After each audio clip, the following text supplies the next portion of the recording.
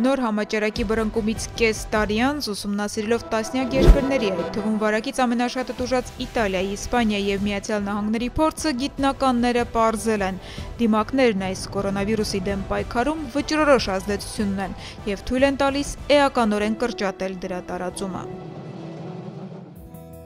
Մինչ այս համավարակը մասնագետների մեծ մասը, ինչպես նաև առողջապահության համաշխարհային կազմակերպությունը համոզված էին, դիմակներն անհրաժեշտ են, որպեսզի վարակված մարդիկ չփոխանցեն վիրուսը հազի կամ փռշտոցի միջոցով։ Ամերիկյան 4 հեղինակավոր համալսարանների գիտնականները միջդեռ ամիսներ շարունակված հետազոտություններից հետո եզրակացրել են. դիմակները խիստ անհրաժեշտ են նաև առողջ մարդկանց։ Դրանք հնարավորություն են տալիս չշնչել վարակվածների արտաշնչած մթնոլորտային մասնիկները, որոնք օդում կարող են մնալ տասնյակ րոպեներ, ինչպես նաև տեղաշարժվել մինչև մի քանի մետր, գրել են գիտնականները Proceedings of National Academy of Science-ում հրապարակած հոդվածում։ Հեղինակները փորձել են գտնել Նյու Յորքում մցված հակահամաճարակային քայլերից, որն է ամենամեծ ազդեցությունը թողել։ Պարզվել է, որ խիստ կարանտինն ու սոցիալական հեռավորությունը առանձնապես չեն փոխել համաճարակի ընթացքը։ Միջդեռ դիմակները պարտադիր դարձնելուց հետո քաղաքում վարակի տարածման կորը սկսել է դեպի վար թեքվել։ Նույն ամսագրում անցած ամիս հրապարակված մեկ այլ ուսումնասիրություն արձանագրել էր։ Նույնիսկ սենյակում բարձր խոսելիս բերանից դուրս եկած միկրոկաթիլները մնում են օդում 8-ից 14 րոպե։ Գիտնականները նաև հաշվել ու ողջել են դիմակ գրելու արդյունքում հնարավոր է եղել Նյու Յորքում մեկ ամսում վարակակիրների թիվը նվազեցնել 66000-ով, Իտալիայում 78000-ով։ Մեր համոզմամբ սա համաճարակի դեմ պայքարի ամենաարդյունավետ եւ ոչ ծախսատար միջոցներից է, եզրակացրել են հետազոտության հեղինակները։ Նույնն է պնդում նաև բժշկական ոլորտի ամենահեղինակավոր ամսագրերից մեկում Lancet-ում հրապարակված վերջին հետազոտությունը, որն ի դեպ իրականացվել է առողջապահության համաշխարհային կազմակերպության պատվերով։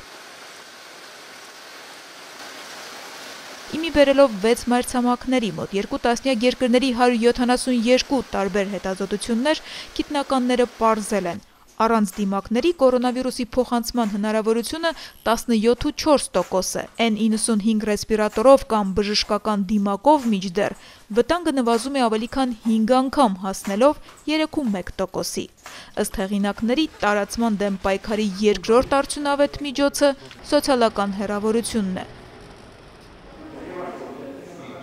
Ընդամենը 1 մետր ըստ գիտնականների հնարավորություն է տալիս վարակի փոխանցման վտանգը 12.8%-ից հասցնել 2.6%-ի։ Երորդ մեթոդն էլ աչկերի պաշտպանությունն է, թեև պաշտոնական ուղեցույցներում այս մասին դեռ որևէ բան չի նշվում, սակայն հետազոտության հեղինակները պնդում են ակնոցը կամ դեմքը ծածկող թափանցիկ պատյանը նվազեցնում են վարակի տարածումը 16%-ից հասնելով 5.5%-ի։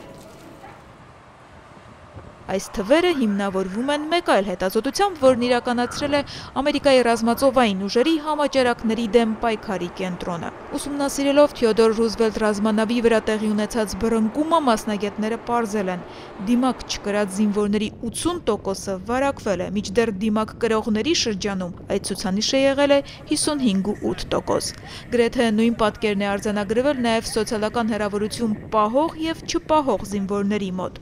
Ընդ որում փակ տարա տարածքում եղած բոլոր զինվորներին ստուգելով պարզվել է վարակվածների մոտ 20%-ը կամ 5-ից մեկը որևէ ախտանշան չի ունեցել, բայց վարակել է մյուսներին։ Բրիտանական Քեմբրիջի եւ Գրինվիչի համալսարանների գիտնականներն էլ համադրելով մի շարք ցուցանիշներ եզրակացրել են, Նոր կորոնավիրուսով վարակված յուրաքանչյուր մարդ որպես կանոն վարակում է եւս 2-ից 3-ի։ Միջդեռ դիմակներ կրելու դեպքում այդ ցուցանիշը 1-ից ցածր է, ինչը էականորեն նվազեցնում է տարածման տեմպը։ Հաշվի առնելով նոր Երևան եկած այս փաստերը, առողջապահության համաշխարհային կազմակերպությունը անցած շաբաթվանից կոչ է անում կառավարություններին հասարակական վայրերում դիմակները դարձնել պարտադիր։ Այսօրվանից այդ կոչին է հետևում նաև Մեծ Բրիտանիան, որ մինչ օրս ամենապահպանողական մոտեցումն ուներ համաճարակի դեմ պայքարում եւ խուսափում էր նորամուծություններից։ Այսօրվանից Միացյալ Թագավորությունում արգելվում է հասարակական տրանսպորտ մտնել առանց քիթն ու բերանը ծածկելու։ Իսպանիան, որն առաջինն է Եվրամիությունում վարակակիրների թվով, էլ ավելի հեռուն է գնացել։ Համավարակի դեմ ամիսներ շարունակված տանջալից պայքարից հետո կառավարությունը որոշել է՝ դիմակները կմնան պարտադիր, քանի դեռ չի գտնվել այս վիրուսի դեմ պատվաստանյութը։